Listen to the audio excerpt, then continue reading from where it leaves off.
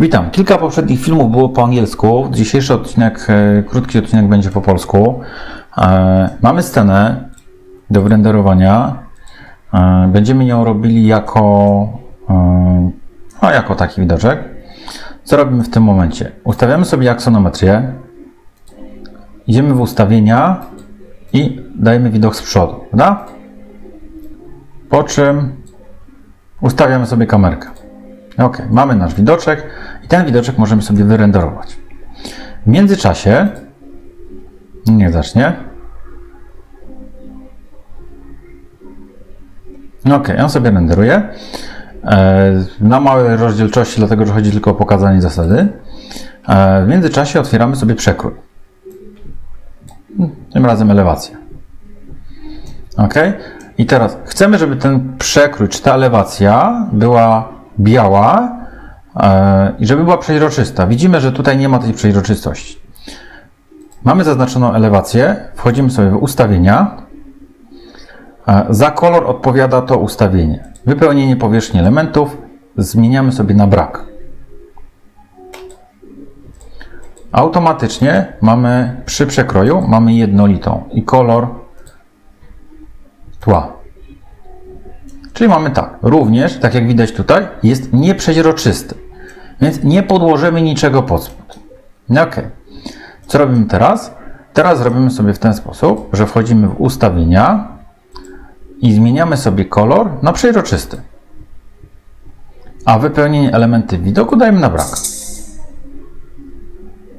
Jak widać, są przejrzyste, prawda? Mamy przejrzystość, co widać tutaj, widać tutaj. Teraz tak. W ustawieniach naszego widoku mamy bardzo dużo e, różnego rodzaju e, elementów, których możemy użyć. E, finalnie na arkuszu możemy sobie dokładnie tak samo podstawić ten element, zrobić sobie z tego rysunek czarno-biały. Tutaj możemy sobie, tutaj to jest akurat Archicad 18, więc tutaj sobie podstawiamy kolory czarno-białe.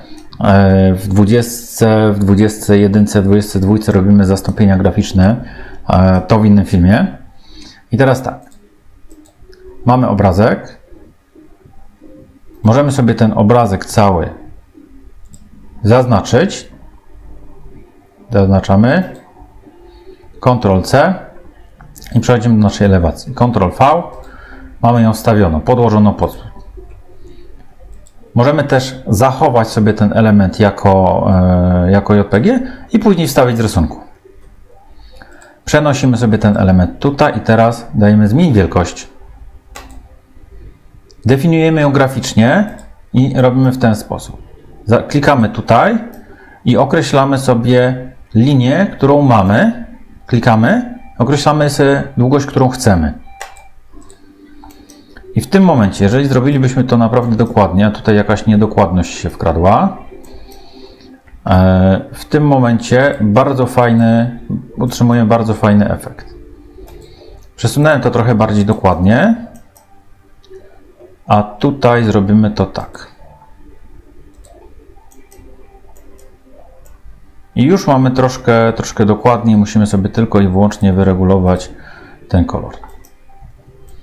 Co w tym momencie utrzymujemy? Otrzymujemy tak zwany rysunek hybrydowy. Oczywiście, jeżeli, w momencie, jeżeli przesuniemy sobie drzwi, te poprzednie zostaną. No, wystarczy, je, wystarczy je wyrenderować.